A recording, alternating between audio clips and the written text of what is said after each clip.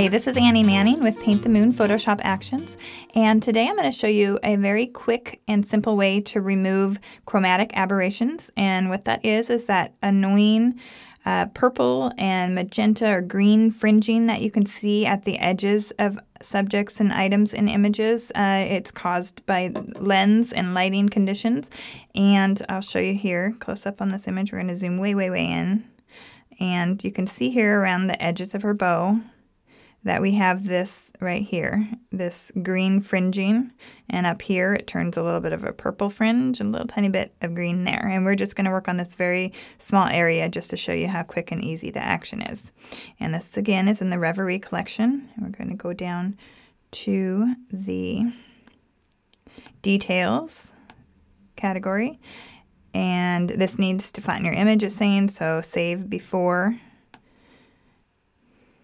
and you use a white brush and just brush along the very edge where that color is that you don't want and just be sure to be precise. It's it's not you don't have to be in, incredibly precise, but it's always good to zoom in when you're doing masking work. So I'm going to take my brush down in size there and turn my opacity to 100% and we have our layer mask selected and you simply just paint over the top of the fringing you see that that green is going away.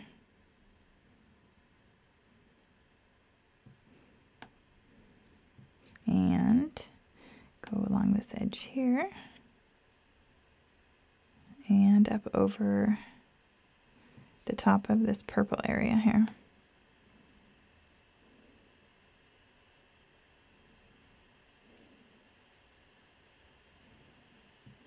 And that's as easy as it is.